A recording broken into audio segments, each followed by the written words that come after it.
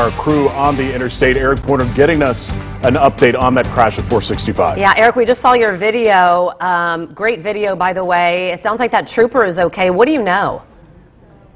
So um, we are working to get information. What I can tell you is what I can see. We're actually we did a loop, we circled back, and we're right back behind it again right now. We're coming up on it right now. You should be able to see those flashing lights. But what we saw again, several police cruisers stopped in the area. There's a, a sign telling people to get over a lane. We we've noticed it's a tow truck. Um, and so there is a DPW salt truck stopped up here. We saw that vehicle. We saw an 18 wheeler. The 18 wheeler is stopped in front of the police cruiser. The police cruiser in question has uh, rear end damage. Uh, that 18 wheeler that stopped, that semi, their hood is popped. And there appears to be someone looking inside, potentially a mechanic, but that's also going on. Um, and then right behind them, what we're approaching right now, behind all of this, is a plow. So there's just to paint a picture for you guys as we're coming across it. We've got a plow truck here, potentially on standby. We've got police cruisers. We've got a vehicle telling traffic to get over a lane. We've got um, that police cruiser that does have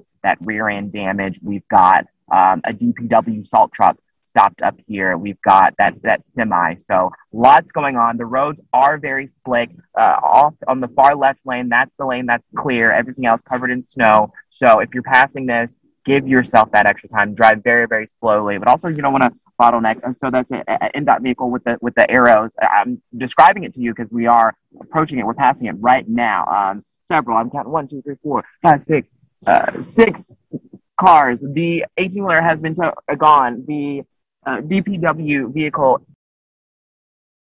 So again, there's about four to five state troopers there. One of them is one with the end damage. There were people out when we drove past the first time. I didn't see anyone out just now. So, um, and, and there are vehicles that are leaving. So we know that they're in the process of getting that clear for everyone. So that's all we know for right now. I'll send it back to you guys in the studio. All right, Eric, thank you. And of course, we talked